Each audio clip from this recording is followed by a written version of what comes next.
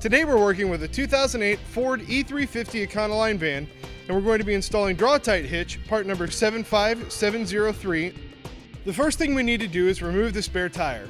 It's going to allow us plenty of room to maneuver our hitch and it's also going to allow us to show you the location for the three bolt holes on either side of the frame. We will be using these three holes in our frame.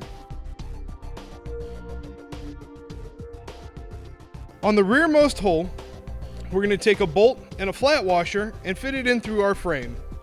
We also are going to tape a flat washer to the top of our hitch flange so that it fills up the void between the hitch and the frame. Then we'll lift the hitch into position. On the underside of the hitch, we'll finger tighten a conical tooth washer with the teeth facing the hitch and a nut. We don't want to tighten these down yet as we need the maneuverability to install the rest of our hardware. At the second hole as we move forward along the frame, we'll take a bolt and a block and feed it through. We also want to make sure that we position a block in between the hitch and the frame rail.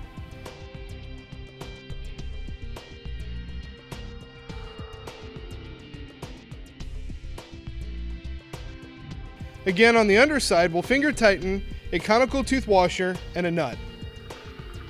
On the last hole, closest to the front of the vehicle, we'll take a carriage bolt and a block with a square hole. We'll fit it through the frame Again, on the underside, we'll use a conical tooth washer and a nut. With all of our hardware in place and finger tightened, we'll go ahead and run them down.